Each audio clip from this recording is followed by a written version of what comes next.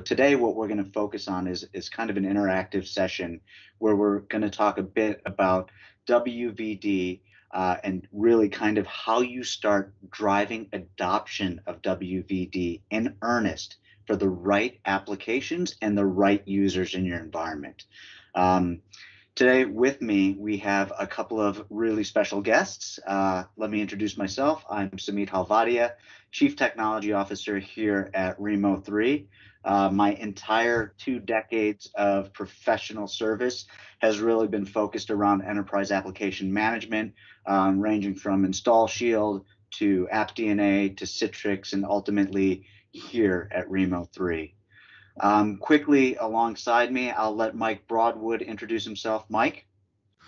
Thank you so much, Samit. Uh, Mike Broadwood here, uh, Technical Alliance Director for Lakeside. Um, one of my key responsibilities is working with um, the best of breed, really. Uh, so the Rimos and the, the Microsofts as well to bring kind of um, products to market. Uh, and uh, thrilled to partner with you guys really to help simplify the journey to help smooth the way to getting uh, desktops on Azure. So I'm excited about today. Thank you so much for for hosting and having me. Appreciate it, Mike. Glad you could make it. And uh, I think everyone knows John. John? Sure. Uh, John Jenna from Microsoft, one of the WVD specialists for uh, GBB, Global Black Belt, if you will, for the acronyms. Uh, I've, I've, been involved with Rimo3 and Lakeside for quite some time. And I have my great friend and colleague here, Stefan, also on the call. Um, Stefan, you need no further introduction. Everybody knows you. Yeah, yeah, that's it. Hi, everyone. My name is Stefan. I'm a PM on the remote desktop services team. And um, yeah, that's about it. See, Stefan was our big ace in the hole. Like, we didn't want to publicize it, but like, if you showed up, you get to talk to Stefan today, which is a big deal. So, thank you for joining on short notice, Stefan. Really appreciate it. So today, what I thought we'd do is, you know, the agenda is going to be pretty straightforward. I think first, what we'd love to hear is, you know, you've seen a lot of this. I mean, if you're here, you're obviously interested in WVD, started your adoption, you're some point on your journey. Uh, what I wanted to kind of uh, lead off with is a introduction from uh, Stefan. Kind of, you saw a lot of great announcements around MSIX and App Attach last week, and some of the new releases and features around WVD in general.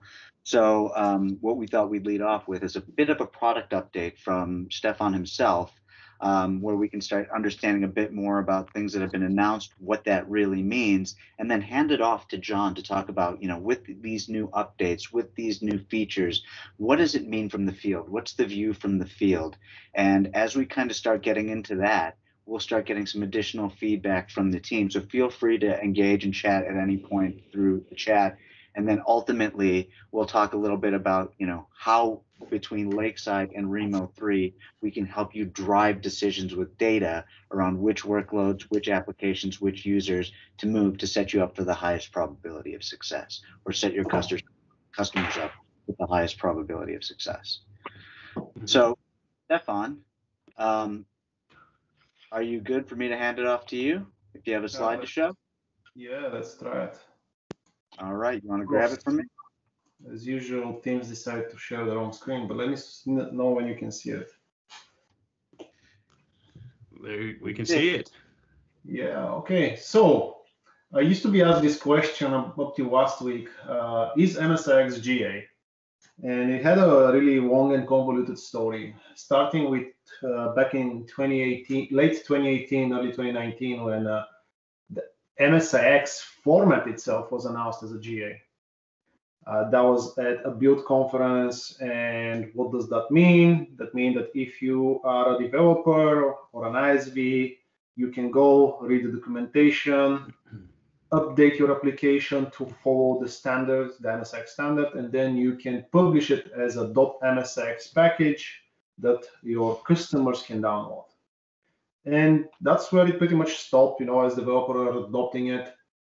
Uh, later that year uh, me and Randy Cook uh, kind of started thinking about what can we do for WVD and in march of 2019 we started working internally on MSIX app attach. Back then that was just supposed to be the uh, the working title and it stick and it, that's the name of the feature these days. Um, but in um, 20, 20 April, when Windows 10 2004 came out, MSIX App which was what we've been working on since uh, 2019, came GA. And people are like, what does that mean? Well, that means that if you are using Windows 10 2004 or up, you had access to the APIs that allow you to do MSIX App which is great, right? And then what do you do with those APIs? Not much, honestly, unless you are a developer or somebody that likes to spend a lot of time in PowerShell. There was no there was no management UI for MSIX App Attach. Um, it, it, I like to compare it to a lot of other features. Like we have a geolocation APIs in Windows.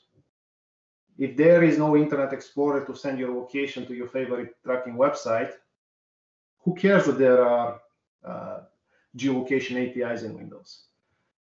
And what we announced last week was the, the management UI for MSIX App Attach, but in WD. Okay, so if you go into the Azure portal and you go to your host pool, there will be a tab called MSIX packages, and you'll be able to manage uh, the assignments of the packages to your users. So that was the announcement yes, uh, last week. Uh, and what does that mean? Well, you can use MSIX App in WD is GA, MSIX App is GA, MSIX is GA. And then the next question is, well, how do I use it outside of WD? And the answer is, well, here is here are the APIs, here is PowerShell, or you go to a partner and leverage their solution to manage MSIX App on premises. Um, and that's really it for um, MSIX App Attach as announcement last week. Some resource on the screen if you want to learn more about MSIX App Attach and how to use it, how to get started. And with that said, uh, I will see if there are any questions.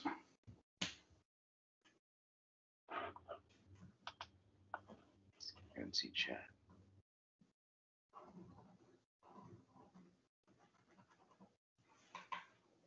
I don't see any questions in the chat. I don't see any questions either. I want to make sure chat is enabled. Sela and Eddie, is, is chat enabled? Is, can anyone type in? Yes. This me. There we go. I see it. Yeah, Perfect. yeah. Yeah, if any point there are any questions, uh, we will be monitoring the chat. So feel free if, uh, if lightning strikes, uh, as we go through this to, to pop right in. Perfect. Um, anything else from your side, Stefan, before we hand off to John?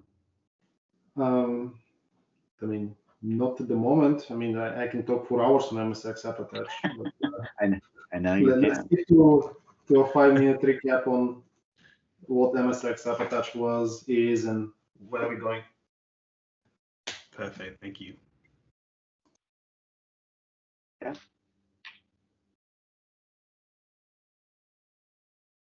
Perfect, John. Um, so you know, with Stefan, the the update around what MSIX app attach, the announcements around WVD and what it means. Um, I think this is a perfect kind of segue into John talking a little bit more about. Well, it's great. You know, we've got a, we've got a great piece of technology.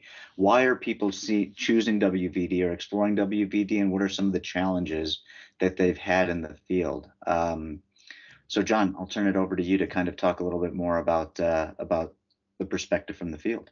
Uh, Absolutely. Um, if you could just fast forward that one slide, not this one, the next one. You got it. Yeah, that one. Perfect. All right. So for the last, we're going to call it two years, um, my team, obviously Stefan's team, and most of our field sellers and customers have been focusing on WVD for these specific workloads that you see here. Now, on the left side, you're going to have the compelling events, and on the right side comes out of use cases. So on a compelling event like a data center hardware refresh, you'll actually establish use cases out of that event that's coming that you will then map to how Windows Virtual Desktop would fulfill that use case, right? So the, again, the last year, which has been the pandemic and COVID, we had a, a, huge impact on work from home scenarios, right?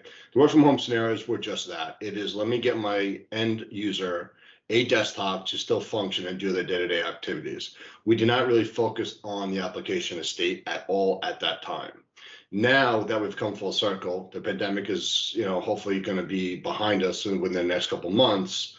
Um, we need to start looking at the application state, which is often not looked at initially because we were trying to solve for a work from home scenario, right? Or developer's workstation scenario.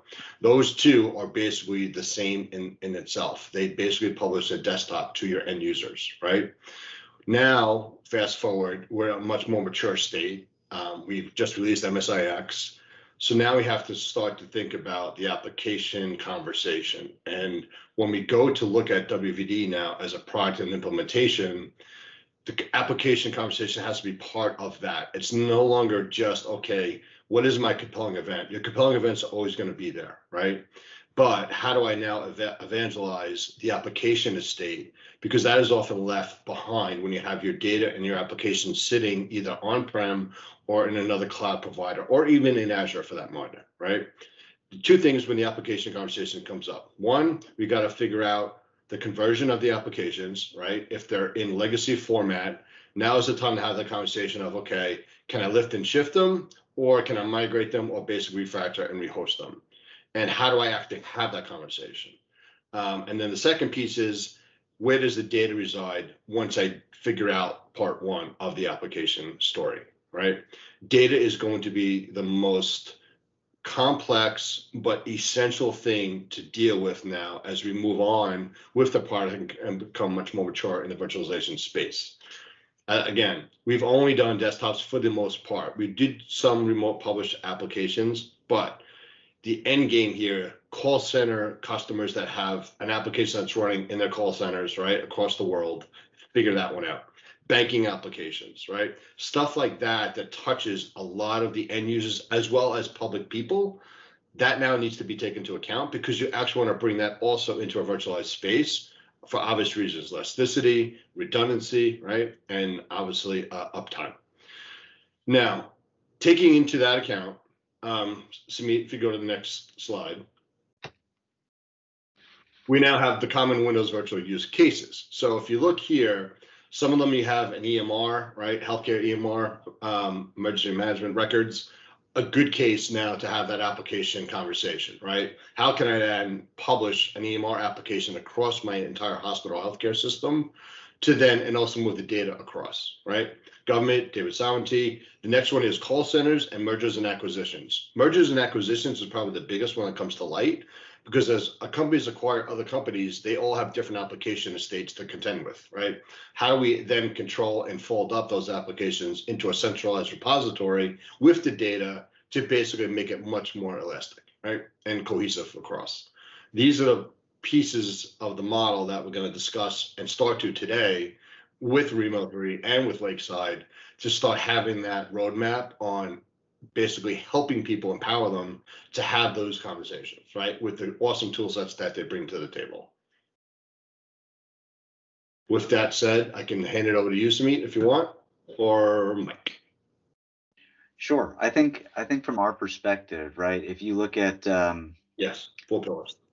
Yeah, really quickly the the four pillars that that we're talking about um, you know, it, it's interesting because when you start thinking about the engagement, you know, there, there's a difference between, uh, you know, John and I have talked about this. This is Mike, right? There's a difference between, you know, kicking the tires, and then there's difference between actually trying a proof of concept in earnest. And uh, some of the challenges kind of associated with that is, you know, the a lot of the POCs that I've seen that John's kind of brought me into is very much, hey, listen, I've deployed uh, WVD as a desktop for just these 15 to 50 users and we have office 365 maybe teams like one or two to three applications sitting into that environment and and really there's a there's a whole what's next right? We're, we're doing this for a couple of weeks we're doing this for a couple of months but who are the next set of users that need to move on to this?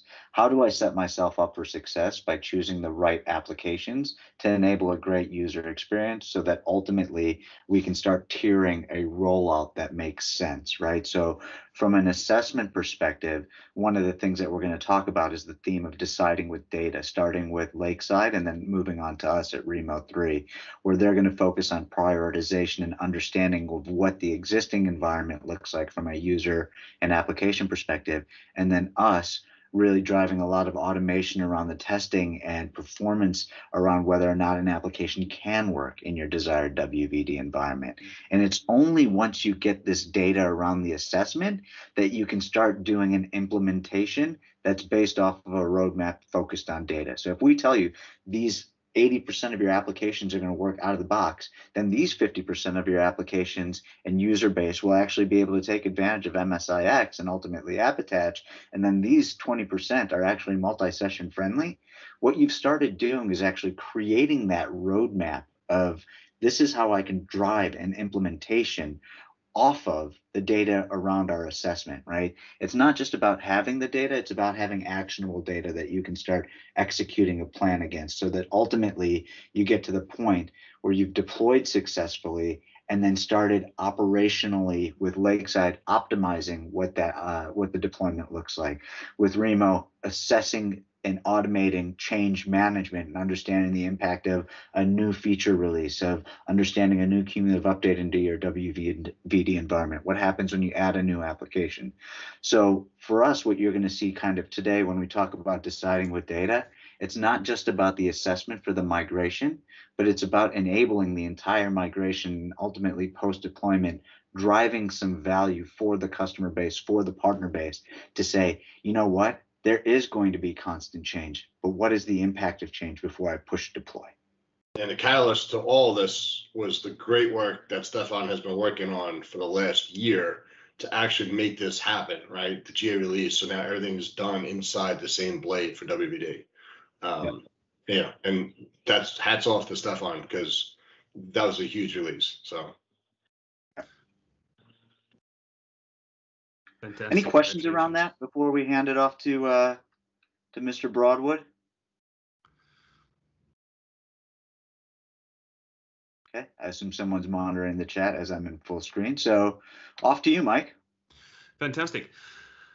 Well, absolutely. So we we mentioned this a couple of times about using data for decisions, and that's critical here. So we've been um, um, here, like we've been partners with Microsoft for 20 years, um, and we've we've worked hand in hand on a lot of initiatives. Now WVD was was a little bit different um, because whenever you've initially looked at a desktop transformation project or for an organization looking to put kind of a, a multi-user environment the conversation was always about kind of density, I suppose. Like how many users can I fit on this particular piece of tin um, with the relevant technology behind it, etc.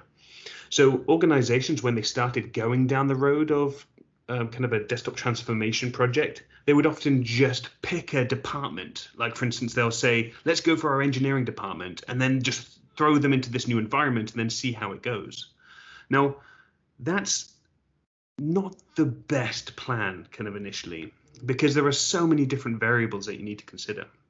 For instance, the applications might be just terrible initially uh, for this type of uh, type of engagement, and the users as well. Um, so that's kind of how we've kind of always done things, kind of historically. But the more and more kind of projects that we were starting to get engaged with, the conversation got changed.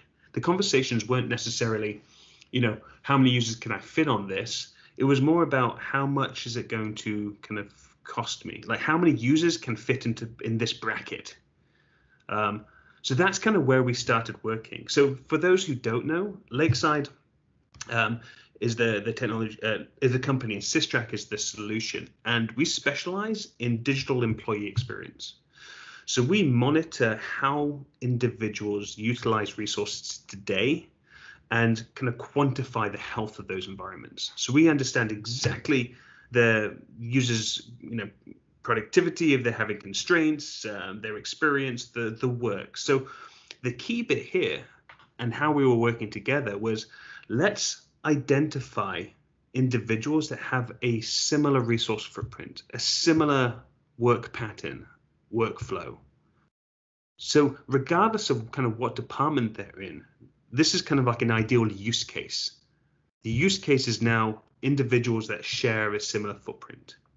So what we've got here, we decided to pick um, CPU, memory, and time because time obviously is very important as well. So if you're looking to move people over to uh, to WVD, you don't necessarily want to have individuals that have you know 300 hours a month of kind of active time because that might not necessarily be a good fit. So what we're able to do here is understand how they use it, so we can kind of um, choose the ideal candidates. So we can just kind of progress a little bit along on the slide, um, and then one more. So the great thing here now is that we can actually do that. And we pull down, we integrate with Azure Migrate. So not only do we understand how people are utilizing resources today, we can also identify um, or marry that data with Azure resource sizing. So we can start before you start going into a long proof of concept and kicking tires, etc. You can kind of you can start the ball rolling on a stronger footing because you know, okay, based on the criteria that we've selected. And based on this choice of resource, what does it look like? How many users, if we're going to utilize a multi-user environment, multi-user Windows 10 VM, how many users can we fit on this? Like, what does it look like? If we're wanting to do a single session, you know, how many of these chosen users would be able to fit with this particular model? And then, of course, along that, we can talk about kind of um, expenses as well, just kind of on an economics front. Now, not only are we identifying kind of the users, the benchmarking, the health of the environment, because if you're looking to implement a new technology, you want to make sure they're having a good experience as well. So to actually benchmark the health so that you can meet or beat those expectations is key. But what we also do is say, okay, so these X amount of users that fit this criteria, what are the most critical applications that they use on a day-to-day basis? So not just all the applications that are installed, not just a, we have thousands of applications that these people have installed. What will show you based on focus time, which applications are important for them to do their job, to be productive. So that gives us focus. Not only have we avoided a long, expensive, just guesstimation project or just picking a department or a use case just because it sounds good. We're actually utilizing real data to make this decision. So we've identified a group of users and we've identified the applications that are required to do their job. So now it's about taking that information and working with it and understanding if those applications are compatible. So Sam, over to you, and I suppose questions as well. Yeah, thanks, Mike. I think the questions will pop up as we kind of go through. And, you know, to, to, to Mike's point, right? Once you understand the focus time of those applications, you understand the, the, the, the concurrent utilization around those applications, and you understand just it, it gives you kind of that baseline of which applications are fundamentally critical to your business. You'll have your tier one applications, your top 10%, always identified. But the reality is, what about the rest? And for us, what we like to do is we like to take that insight from Lakeside and start thinking about which applications are good candidates to move. So once we have the data around which users are best candidates to move, which applications are the best candidates to move based off of priority and utilization, then we become the technical platform to drive the automation basically around application testing. And if I had to put us into a single category of what we do for a living, we pioneer automated testing. Over time, by taking some of the inputs from the likes of Lakeside, we and, and the likes of Azure Resource Manager, uh, Citrix Analytics, and some of these other tools, we would love to be able to start doing some modeling and some groupings that'll help you start optimizing what your deployments look like. But from our perspective, we want to answer a couple of questions for you. Okay, we understand that this application is important to you, and I know that you want to move it to WVD let us do the automated testing to make sure that A, it's a good candidate, so it's compatible, meaning it installs, it's functional, meaning that it works, and it's performant, meaning that it works well, right? So by actually mm-hmm. automating the testing around those components, we're going to give you the data to say this is a good candidate to move to WVD. But WVD has two additional cornerstone features that drive, um, you know, that'll, in my opinion, drive the adoption of WVD at a scale that's never been before seen by DaaS or VDI in general, right? And one of them is obviously with Stefan here, MSIX and AppAttach. Um, but in order to get to AppAttach, you obviously have to make the journey to MSIX. And for us, we want to help you determine whether or not an application is also a good candidate for MSIX. And if it is, let's help you convert it. Let's help you create a deployment ready MSIX. And the second bit, right, uh, is, is, the multi-session capability, being able to take an application that you're currently deploying in a single instance and determine whether or not it's something that you can deploy and take advantage of multi-session in, you know, Windows Enterprise 10 2004 and see if you have multiple usage scenarios, user sessions running on the same VM. That's exciting. Now you're talking about a great user experience. You're talking about modernizing your application, and you're talking about ultimately compressing cost, right? And uh, I shouldn't say compressing cost because that's not always the use case, but optimizing cost, whether it's focusing on a great user experience or it's focusing on cost reduction. So from our perspective, the automated testing journey is around taking the inputs from config manager and lakeside and saying, okay, these are the apps you want to move let's tell you what are the most ideal candidates to do. So what I thought I'd do quickly is go into a demonstration, which may or may not have timed out. Pull it up.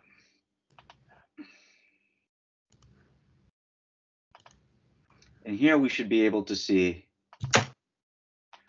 Rimo3 Cloud. Again, what we've what we've created here is a platform that is driven off of automated testing that is completely unattended. So our entire kind of premise of our value proposition is I don't know what your app does. Just because it's ie.exe or ie.msi doesn't mean that I know it's Internet Explorer or it's a browser. It doesn't rely on scripting, right? What we know is that we want to test an application that's a silent executable and then figure out whether or not it'll actually function. And for us, it's a pretty straightforward concept that we've done to actually onboard these applications into your environment. Because from a Rimo3 cloud perspective, and this is one of the things that we're going to talk about because this is one of the, you know, we're giving away two of these assessments uh, at the end of this call for 10 apps each. But we're just going to simply help you understand what would you like to do today? Do you want to actually check application suitability for WVD, figure out which ones are compatible on 2004, which ones are compatible on the latest version of WVD, which ones can actually, uh, which ones are multi-session friendly, which ones are MSIX ready, and if they are MSIX ready, can you go ahead and convert them for me? Being able to take those MSIX ready applications and apply our conversion technology, which is based off of the uh, CLI um, tooling that comes out of uh, the MSIX team, but adds our own secret sauce around the front end and automated remediation on the back end to drive a much higher success rate around conversion itself so that ultimately you can take advantage of Intune or AppAttach. And then ultimately, once you've deployed those applications, we talked about the change management bit which is if I'm taking on a new feature release of Windows, if I'm changing my WVD environment by uh, introducing new applications, if I need to roll out a cumulative update or a security update, what's the impact of that change going to be? And because everything is unattended and because everything is completely automated, we try to make this a completely straightforward process where you just kind of call out, where am I moving from? 1903, where am I moving to? 2004 multi-session, upload my applications, and off I go. So at this point, what you'll get is an email saying, thank you for uploading your applications. We're building out your baseline uh, images and we're going to build out your target images. We'll send you an email when you're ready to look at your dashboard. And ultimately, it'll take a you know 20 minutes an application to run through the entire pipeline here. Which is unbelievable. 20 minutes an application the amount of times I've spoken to customers and they spend months testing application compatibilities. So I just wanted to stress on that because that is, and, and the whole key here really is, and kind of the precept is, is kind of data to make these data-driven decisions. like identifying the users, identifying the applications, and then seeing if those applications work as seamlessly as possible. And that's kind of the idea, right? So once we get the data here, that's that's exactly the type of dashboard I want to see. I want to Yeah. come in here when I log in and get my suitability dashboard. So th- th- this was about two hours. Over the course of two hours, I ran through nine applications, uploaded them, right? And and this is the difference, right? If if those of you that are familiar with application compatibility testing, you have a couple of different approaches to it. Back in the day, but when we were AppDNA, static analysis was great when you were moving from Windows XP 32-bit to Windows 7 64-bit. It was a linear migration. There's no such thing as a linear migration. Every enterprise will have an application being delivered via Citrix sitting on server 2012 with XenApp 6.5, or they'll have something sitting up on Azure server 2019 uh, that they're trying to run and manage through Citrix Cloud, or it'll be something that's being deployed to WVD or a local installation. There's a variety of permutations associated with application deployments and delivery. So what we're trying to do is say, can I answer the question of whether your application will work in your desired environment? So I come in here and I'll show you exactly what type of tests we run through. But when we go come through and actually execute an application, what you're going to see is I'm answering three questions. Can I move it? Again, this is the data that I'm looking for. Can I move it from its existing environment of 1903 locally installed to WVD as it stands today? And what we'll do is we'll actually go through, restore the machine, and silently install the application, smoke test the application where we're able to grab the screenshots of whether or not something actually worked, see that it launched, go through basically the click. So the intelligent smoke test is an interesting thing because it's not necessarily just about the launch and load. It doesn't because it doesn't know anything about the app because it doesn't it hasn't been scripted as traditional RPA or surface automation. What it does is it launches the parent process and then it says, okay, what's the next click so that I can launch, what's the most likely next click so that I can launch a child process? And ultimately, it launches children processes over the course of the next minute to three minutes. So you actually get a pretty good understanding for 90% of your applications that you can deploy them with confidence because it gives you a binary pass or fail. And then during that time, they'll actually capture the metrics in your environment. Obviously, this is not anything near what Lakeside provides. This is not for sizing. This is not for VDI planning. This is basically saying, is my performance going to be better in my new desired environment or materially worse? So it still just gives you the information you need here to start deploying with confidence. Yeah, and the experience side of things again is so important. That's often one of those things that gets forgotten when these things kind of start getting planned. You need to ensure that the experience is right because often projects fail or at least don't get the rollout that it deserves is because kind of the user acceptance piece hasn't really been taken into consideration. No. It's about benchmarking application performance that we're showing here or the user experience as a whole because otherwise you know you hand a user a new device a new technology like any kind of perceived performance degradation is is going to be met with uproar you're Yeah. going to start complaining about it it's just not going to get there so being proactive about this stuff is very important because Yeah, you that's want a good point. Sorry. Sorry, Mike. No, that's that, that's a great point because uh, again, the adoption is going to be driven by exactly what Mike is saying, which is perceived user experience. Between their real life deployment data versus our pre-deployment data, you can get a really good sense of well, you know, back in 1903 when they ran it for 90 days, this their focus time was 84% on this application, and their user experience was, you know, 22 megs of utilization on average, and now we're doubling it. Oh, that's not going to go well. hmm So what we've what we've been working with as well is some uh, kind of um, proactive um, sensors and automations.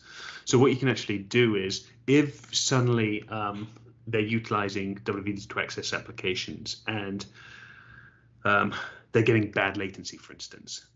So instead of the user saying, "Oh, this new environment's terrible, I hate it," Hmm. often what's the case is they've moved somewhere, they've changed rooms, and their Wi-Fi is so much worse. So to be able to actually determine, okay, the degradation in experience is based on this data set, which is kind of the Wi-Fi, for instance, you can have a little pop-up which basically says, did you change rooms? Please move closer to your router.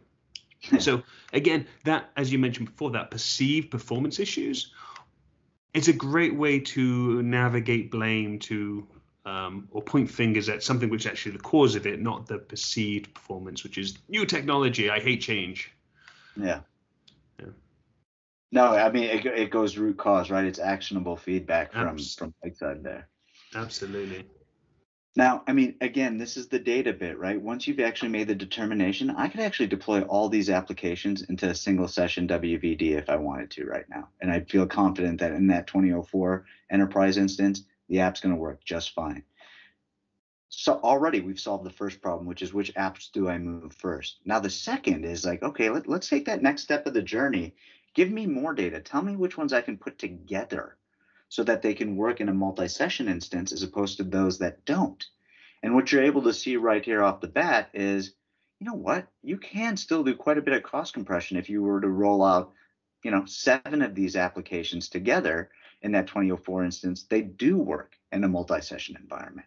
However, if you look at other ones that do work in single session, these two might have to be deployed separately. Because if I come in and look at what we do with the multi-session, it's the same thing. Again, the intelligent smoke test is our crown jewel in terms of the technology that's driving um, our ability to test at scale. So if I come in, we follow the exact same steps. We install the application, but then what we do is we actually run the application, we install it on a single VM, and then run multiple user sessions. And you can go up to 50, however many sessions you want to run against. But ultimately, what we'll be able to tell you is whether or not that application is going to behave well when multiple user sessions are, are running it. Is it writing to the same file location and causing an issue? Is the second one executable not actually even being launched in the first place? And what you're able to start seeing right here is start actually taking out the ones that are not multi-session friendly and creating a slightly different application delivery strategy around those, whereas the ones that are multi-session friendly can be grouped and start being part of your tier one deployment team.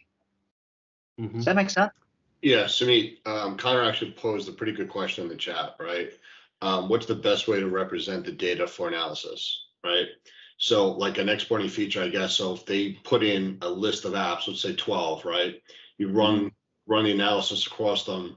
Is there a way they can maybe export that out to have a- a compiled list that they could then present, right? To their Yeah. Leadership to say, okay, here's the issues across these applications, here's what we need to do. Here's the ones that do work, here's the ones that perform really well, right? Yeah.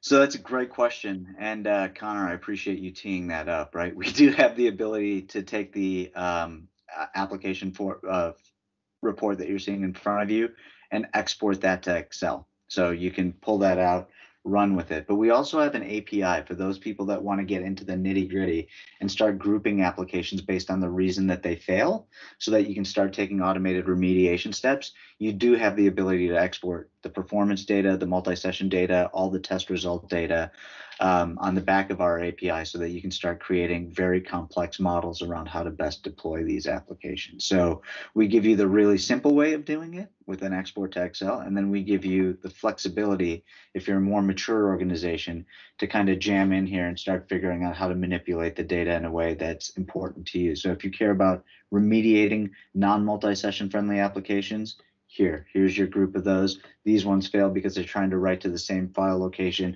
These ones fail because they can't uninstall cleanly. These ones fail because you can't just launch two execute two two user sessions of the same executable. You can start grouping and manipulating. And then what you can do with that data is the applications, for instance, that fail, you can go back to SysTrack and exclude, you can create a group of users that don't use those applications. So you can run that same analysis of resource footprint without these unfriendly applications to really determine, okay, these are my list of users, these are the applications that work, let's go. Yeah. And I mean that that's the thing, right? So now you've you- you've already taken the first two steps of that journey. The first ones are which ones can I deploy, which ones are actually multi-session friendly, and then ultimately we want to get to the MSIX bit, where we can come into modernize and take a look at, you know, which percent of the applications that we have in our portfolio can be converted. And if they can, have at it, right? So we converted 100% of these nine applications in the environment, but the conversion's not enough, right? The conversion is just the first step. A lot of stuff can be converted. So if I come into something like um, CapCalc here, right? This is a new one, even for Stefan. I come in here and I look at the process we go through from a conversion perspective. We come through and we restore the machine. Again, the intelligent smoke test is what allows us to do this completely unautomated. But we come through and we see, all right, uh, we're, we've got this particular MSI. We're going to stop the window services. We're going to create the initial conversion, start the correction, unpack and apply our remediation. So what we've done is the traditional CLI for the conversion utilities between 40 and 50%, depending on who you talk to. But what we've done is we've run tens, well, now it's tens of thousands of tests across our application portfolio and our conversion utility. And what we found is there's quite a few different types of errors that we run into, but we were able to classify them into about 17 different types of errors and create targeted automated remediations based on those types of classifications. So you'll see that we start applying our MSIX fixes right off the bat if we see that it falls into one of those 17 categories. And then ultimately, we'll install that package and you'll see it's an MSIX and make sure that it's working or installing correctly. But that's not enough. A lot of these applications will work right off the bat. But then again, the crown jewel being smoke testing, we go through the process of actually installing that MSIX that you saw, and then we smoke test it. And you're able to see, you know, this is not an application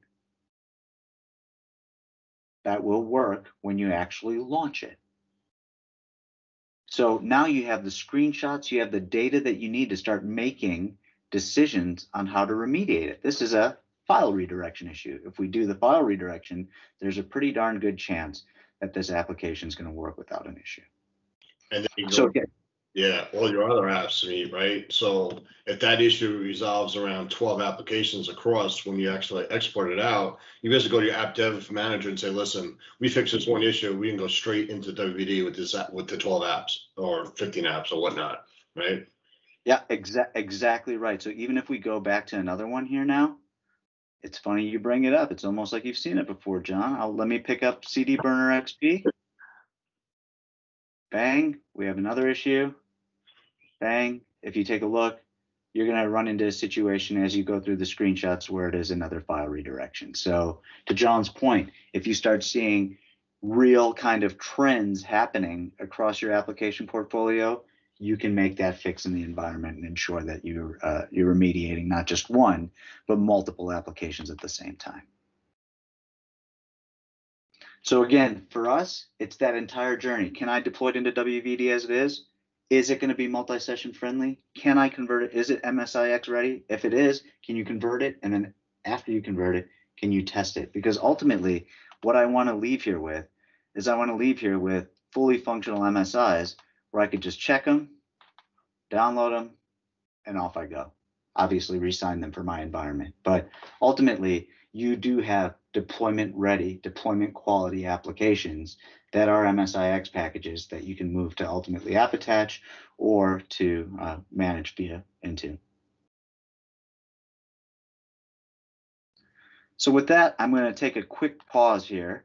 Um, kind of show the application journey. Again, we're all about providing the data between Lakeside and understanding how that application and user experience kind of play into your existing environment versus us taking that data and saying, let me prioritize which applications are best candidates to roll out first so that you can have a successful proof of concept so you can try WVD in earnest and then ultimately create a plan that's going to take you from not just deploying your apps and users, but also starting to optimize them, taking advantage of multi-session, taking advantage of uh, a great health score for your users and digital experience. So with that, um, you know, I know we went through a lot of data here today, and I wanted to kind of just uh, open this back up now that we've gone through the deck.